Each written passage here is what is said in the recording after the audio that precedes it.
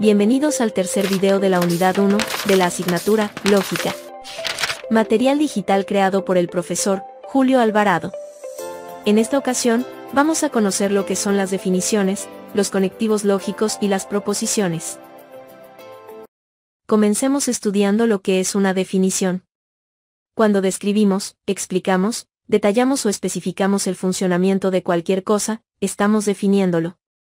Las definiciones no poseen ambigüedades, ni repeticiones o redundancias. Tampoco debe contener negaciones sobre lo que no es, o para qué no sirve, y debe acercarse a lo que realmente estamos intentando definir. Si buscamos la definición de un pez, vamos a ver enunciados positivos, sobre lo que es, y dónde vive el pez. Lo que no vamos a encontrar en su definición, es que, el pez no puede hablar, tampoco que no respira oxígeno fuera del agua, o que no puede subir una montaña, pues aunque son proposiciones ciertas, estas serían innumerables. Las definiciones se clasifican en dos tipos, puede ser explícita o extensiva, y también está, la definición implícita o comprensiva. Si se trata de una definición explícita, es porque se muestran todos los elementos que constituyen a una definición. Mientras que, en la implícita, se definen todos los elementos pero sin detallarlos uno a uno o bien ocultando a la mayoría lo implícito supone que esos elementos ocultos, aunque no se muestren, forman parte de una definición en particular. Veamos el siguiente ejemplo, se quiere definir el conjunto A, el cual está formado por una serie de números y un orden. Rápidamente observamos el patrón que define el orden de esos números, y podemos decir que se tratan de números pares, entre 2 y 16. Ahora, si queremos representar el mismo conjunto de números de forma implícita, se debe recurrir al lenguaje formal de bajo nivel matemático, donde se deja claro el rango y dominio que abarca dicha secuencia, mediante una fórmula relacional sencilla.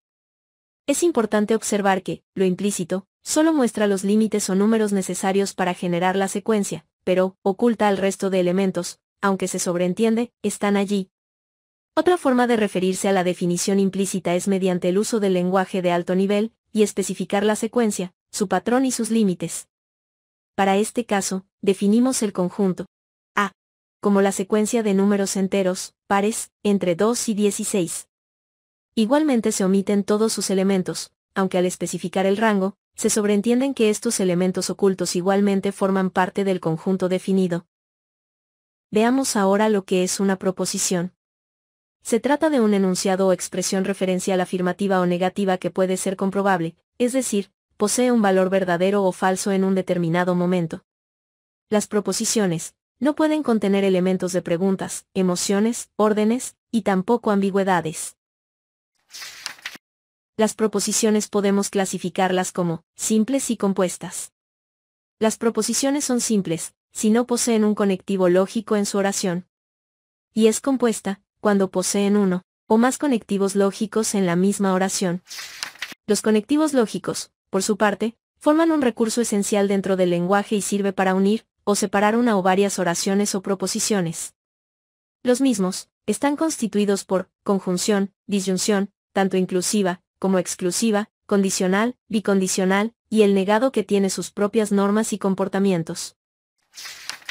Veamos los primeros ejemplos sobre el uso de los conectivos lógicos en una oración. Caracas es una ciudad en Venezuela y Francia es una ciudad en París. En esta oración, observamos la presencia del conectivo de conjunción, en forma de y, por lo que, concluimos que hay dos proposiciones separadas por un conectivo.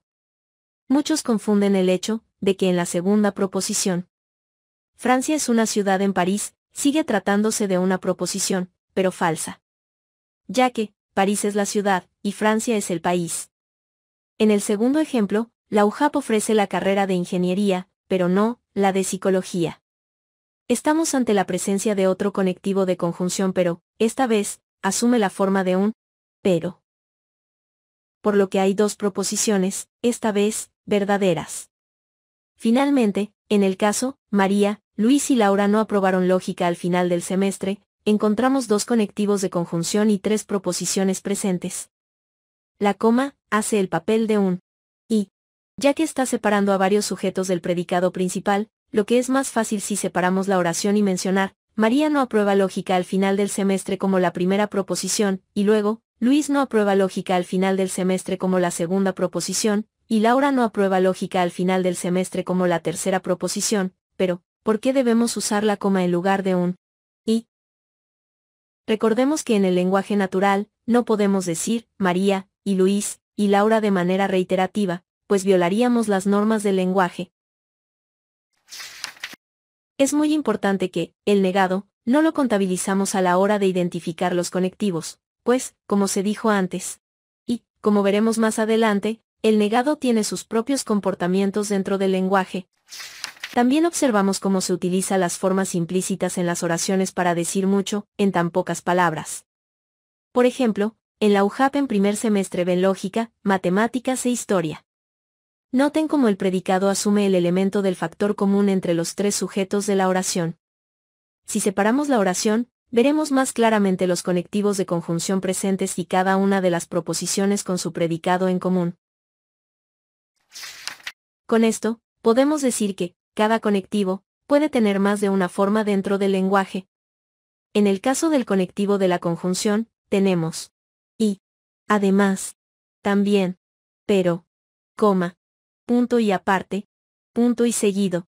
Sin embargo, ahora bien, adicional a esto, tanto como, ambos, igualmente, y muchas otras más.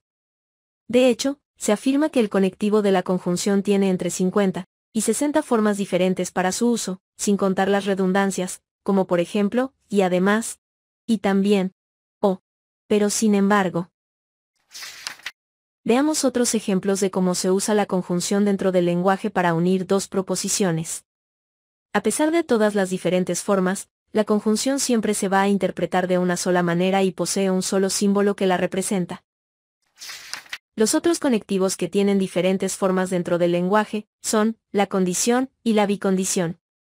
La condición, su forma más usada es, si condición, entonces consecuencia. También se les llama, si antecedente entonces consecuente. Al ser un conectivo binario, la condición y la consecuencia son dos proposiciones separadas. Pero, también puede variar a otras formas como, si condición, consecuencia donde esa pausa escrita en forma de coma, reemplazaría al entonces. O bien de la siguiente forma, si condición, es porque consecuencia. Si condición, implica la consecuencia, entre otras más. Ahora bien, el bicondicional, tiene su palabra más frecuente en, solo sí. Aunque puede variar a, sí solo sí, nada más sí, únicamente sí, solamente sí, entre otras. Finalmente, las disyunciones tanto inclusivas como exclusivas solo tienen una forma de expresión. Aquí, vemos algunos ejemplos del bicondicional, cuando se utiliza en una oración.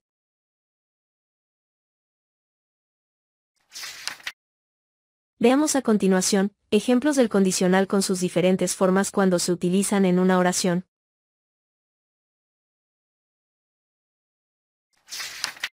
Los conectivos pueden ser de dos tipos, los que unen o cruzan proposiciones, los cuales, siempre aparecen en el centro de las dos proposiciones, como en el caso de la conjunción, disyunción inclusiva, y el bicondicional. Por otro lado, tenemos los correlacionales o dependientes, que son conectivos con dos partes, una inicial que acompaña a la primera proposición y otro central, ubicado entre las dos proposiciones. Ellos son, el condicional y la disyunción exclusiva. El negado, al igual que los demás conectivos, posee una lista de variantes formas que se utilizan en el lenguaje. Las más frecuentes son, no, no es cierto, no es verdad, es falso, es imposible, es mentira, y toda aquella palabra que conlleva implícitamente un significado negado o bien represente el antónimo de la palabra. Los negados siempre van por delante del verbo de la oración, o bien al comienzo de esta. A continuación, presentamos una tabla de conectivos lógicos incluyendo su forma simbólica en lenguaje formal. Cada proposición es asignada a una variable o letra del alfabeto, que convenientemente en la lógica, comienza por la letra P, luego Q, R, S, T, y así sucesivamente hasta que se asignen todas las proposiciones a una letra o variable,